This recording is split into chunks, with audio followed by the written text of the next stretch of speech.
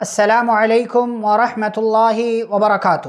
جو لوگ ہم سے پہلے اس دنیا سے جا چکے ہیں، چاہے وہ ہمارے رشتہ دار ہوں یا بہت پہلے انتقال کر گئے ایمان والے ہمارے بھائی ہوں، ہماری بہنیں ہوں صلف صالحین ہوں، صحابہ کرام ہوں، ان کے بعد کے زمانے کے ہمارے مومن بھائی ہوں یا بہنیں ہوں یا جو لوگ بھی انتقال کر گئی ایمان والے، ان کے حق میں ہمیں دعائیں کرتے رہنا چاہیے۔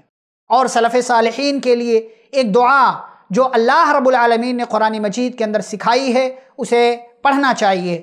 ربنا اغفر لنا ولإخواننا الذين سبقونا بالإيمان ولا تجعل في قلوبنا غلا للذين آمنوا ربنا انکا رعوف الرحیم۔ اے ہمارے رب، تو ہمیں معاف کر دے اور ہمارے ان بھائیوں کو معاف کر دے جو ہم سے پہلے ایمان میں آگے بڑھ گئے اور ہمارے دلوں میں ایمان والوں کے تعلق سے کینہ اور بغض مت بنا۔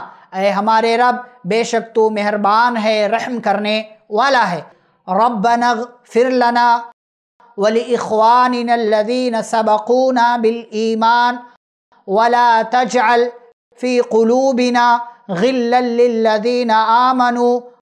ربنا انك رؤوف الرحیم گزرے ہوئے لوگوں کے لیے صلف صالحین کے لیے جو نیک لوگ تھے، گزر گئے، موحدین تھے، ان کے حق میں ہمیں اس دعا کے پڑھنے کا اہتمام کرنا چاہیے. والسلام علیکم ورحمۃ اللہ وبرکاتہ.